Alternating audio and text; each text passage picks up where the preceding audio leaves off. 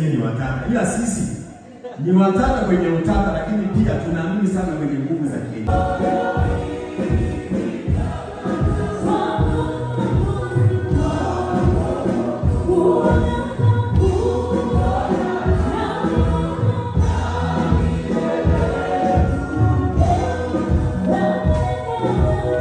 Ah, Bwana Yesu asifiwe sana, watu wa Mungu watumishi wa Mungu. Kwa nini tunasisitiza sana mtu awe na wema, atende wema maishani mwake? Ukitenda wema ni kwa ajili yako, na ukitenda mabaya ni kwa ajili yako. Yaani kila kitu unachokifanya chini ya jua ni kwa ajili ya kujilimbikizia wewe.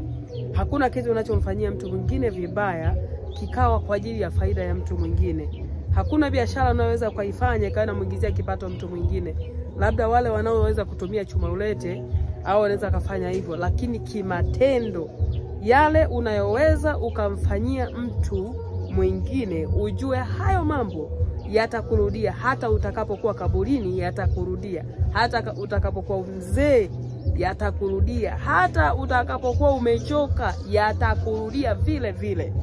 Ah, nilikuwa nasoma kitabu cha Ayubu ah, sura ya kumi na tano kuanzia mstari wa ishirini. Usikie vizuri hapa, anasemaje? Anasema kwamba mtu mwovu huwa na uchungu siku zake zote, hata hesabu ya miaka aliyowekewa mwenyewe huonea. Anasema mtu mwovu huwa na uchungu siku zake zote, yaani mtu mwovu hawezi kuwa na amani. Afadhali hata sisi tuna machungu ya yale tunayopitia magumu kwa sababu ya wanadamu kutusababishia. Aa, lakini unakuta una machungu, kuna wakati angalau utakuwa na machungu ya kujifariji kwamba hapana, yawezekana hapa kuna mkono wa Mungu ndani yake, yawezekana hapa Mungu anafikiri jambo fulani, kuliko wewe ambaye umekusudia ama umenuia kufanya mabaya moja kwa moja. Hayo mambo ulionuia kufanya mabaya moja kwa moja, siku zote utakuwa na machungu, kwa sababu utakuwa huna suluhisho lolote.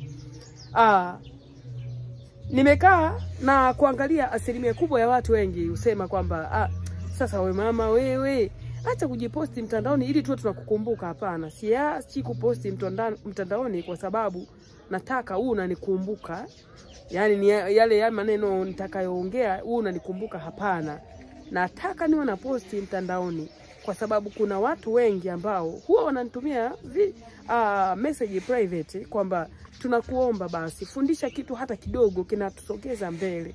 Kwa hiyo kwa wewe ambaye hakikufai unaweza ukaachana nacho, lakini kwa mtu ambaye kinamfaa mwache akisikilize kwa sikio lake la kawaida analotaka kusikiliza yeye kwa sababu ya manufaa yake.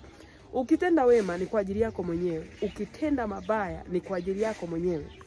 Anaendelea kusema kwamba sauti za utisho ni za masikioni mwake, katika kufanikiwa kwake mtekaji nyara atamjia juu yake. Yeye hasadiki kwamba atarudi kutoka gizani, naye hungojewa na upanga. Hutangatanga ili apate chakula, akisema ki wapi? Ajua kwamba siku ya giza i tayari karibu yake.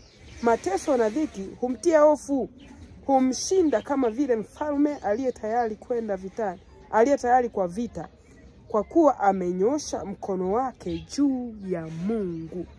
Kunyosha mkono juu ya Mungu ni kunyosha mkono juu ya mtu wa Mungu, kwa sababu Mungu hashuki Mungu kama Mungu kumsaidia mwanadamu ama kumwokoa mwanadamu, bali Mungu yeye humtumia mtu kumsaidia mtu, na ndio maana mtu akifanya jambo baya husema kwamba ah, shetani yani, shetani naye shetani amefanya jambo hili kupitia mtu huyu, na mtu akifanya jambo jema tunasema hey, Mungu ameshuka. Kwa mfano wewe upewe hela, tuachane na mambo mengine, upewe hela tu. Tunasema ni Mungu ameniona.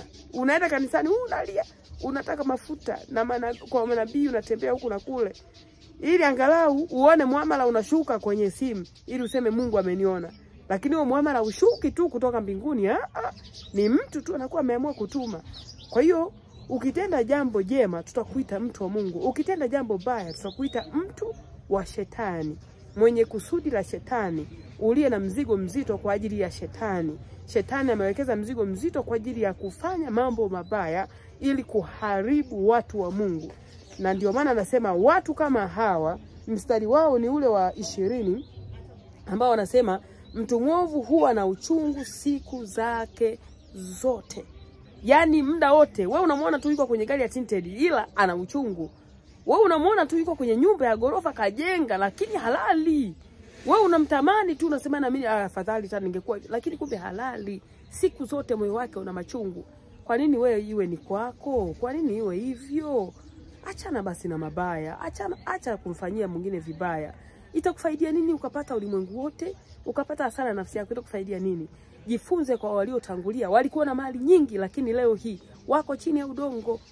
Eh, jifunze kitu hapo mwanadamu, yaani usijisahau kwa ule urembo tu ulionao, kwa tena urembo wenyewe bandia. Unakuta ni unajisahau tu kwa ule urembo eh, kwa mavazi tu ya kizungu, unaiga mavazi ya kizungu, unaiga kutembea kwa wazungu, unaiga kucheka kwa wazungu, unaiga sijui kufanya nini kwa wazungu, badala ya kuiga ah, vitu vyenye akili vyenye uzalishaji kwa hao wazungu, kwa sababu hawaji tu hivi hivi, na vitu vyema tunaviiga kwa watu na vitu vibaya tunaviiga kwa watu, na ndio maana uzinifu. Kwa nini watoto wameanza mpaka mia, miaka tisa katoto kazinifu? Wanaanza kwa sababu ya vitu vinavyoonekana mtandaoni, vitu vinavyopostiwa mara kwa mara, vile ndivyo vinavyoharibu akili zao, mpaka itafika mahala wanaharibika. Watoto wanaenda kujiuza, ingaje kwao kuna fedha, kwao kuna chakula, kwao kuna kila kitu, lakini bado unakuta ameenda kujiuza.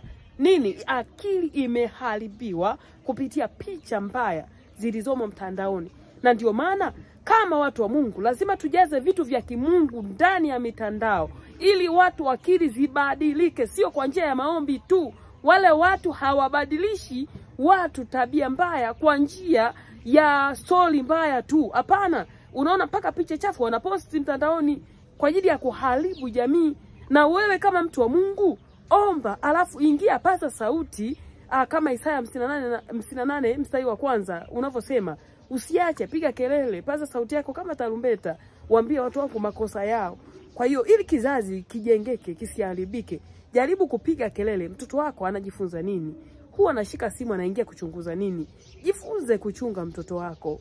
Yaani si vizuri kumwona eti mtoto eti eh, eh mtoto wangu yuko kisasa eh, unamwonaje eh? Anatembea eh, yuko kisasa eh, eh yuko vizuri eh?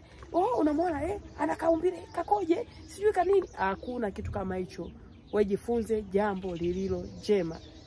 Mwovu siku zote ana machungu, hapumziki, ingawaje ana kila kitu, ila hapumziki.